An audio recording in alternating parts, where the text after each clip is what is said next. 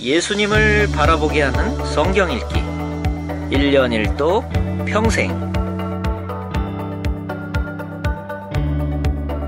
5월 생활 미션은 현관에서 축복하기입니다. 현관에서 신발을 바로 놓으며 기도합니다. 감사합니다. 용서합니다. 가족들이 들어오며 복을 받고 나가며 복을 받도록 축복합니다. 멋져요, 예뻐요, 최고예요. 현관에서 축복하면 행복합니다. 위풍당당 화목한 감사 일도 2019년 5월 4일 토요일 역대상 1장에서 2장 말씀입니다.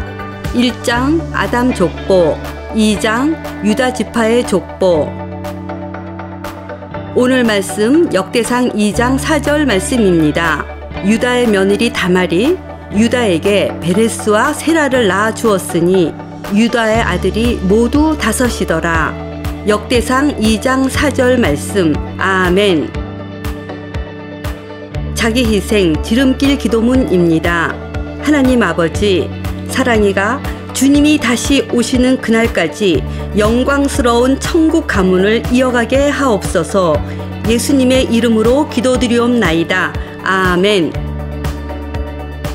5월 암송 구절은 느헤미야 8장 10절 말씀입니다. 여호와로 인하여 기뻐하는 것이 너희의 힘이니라. 느헤미야 8장 10절 말씀. 아멘.